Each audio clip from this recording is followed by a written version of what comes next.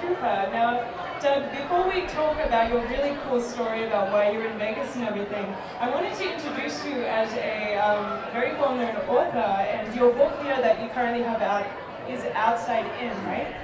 Yes, Outside In um, is a story, it's a modern search for identity and responsibility, sh showing through the eyes of the lead character how sometimes we have to become the opposite to know who we truly are.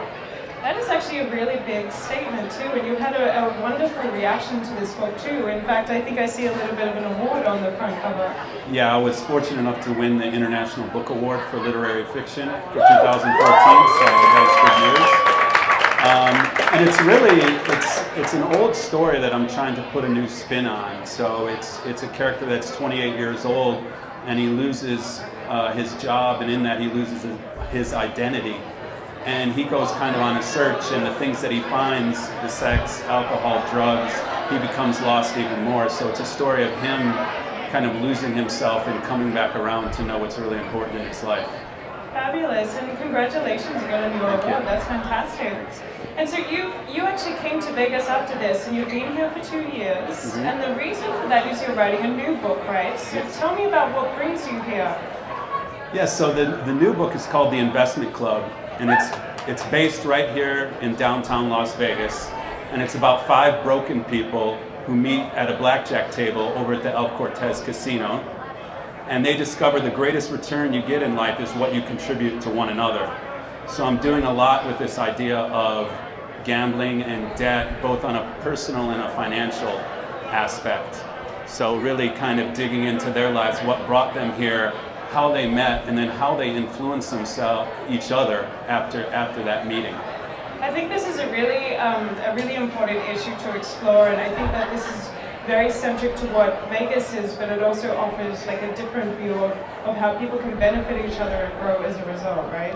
Absolutely, and, and the timing I think is perfect. Uh, when I came to do kind of my initial research and I caught all the downtown stuff that was happening, I've just really reinforced that it's the right time for this story to be told.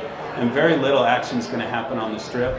I'm really keeping it all downtown with people that are living here, that have transplanted here, but are living here now. So it's more about their lives than it is, you know, the typical story I think that's told here.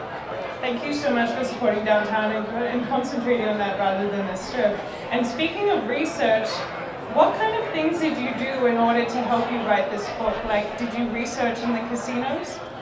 Yeah, I could say I spent a lot of time playing blackjack. uh, playing blackjack, and one of the characters, one of the five characters, is a stripper. So I had to make my rounds of the different clubs and get the authentic research as well there. So it's got to be authentic. That's the most important thing, right? Exactly. It's the details that that make the writing. Okay.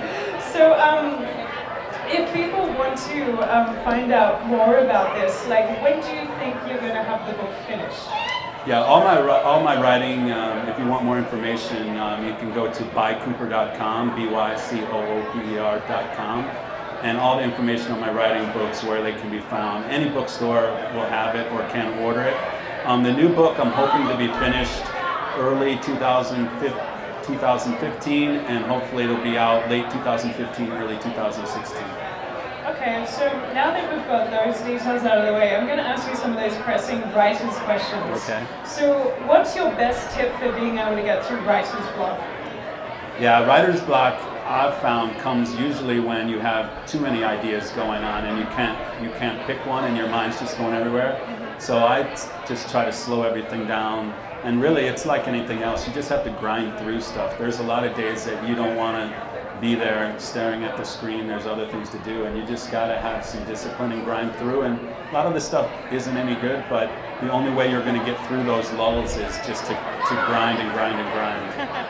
Very sage advice. And so my last question is, I feel like this is a thing. Do you ever wake up at 3 a.m. and you've just got this idea and you have to jump up and turn the light on and start writing it down? Yeah, absolutely. That's why it's nice to have a, a journal by the by the side of the bed, you write it down. Most of it never makes sense, but every so often you get a nice little kernel that you can build on the next day. I like the sound of that. Well, I'm very inspired by your story, and thanks again for coming out to downtown Las Vegas um, to write the book, but also coming on the show to tell us all about it. I'm very excited about uh, the Investment Club being released next year, and uh, thank you for coming on the show. Oh, thank you so Thanks, much. Doug.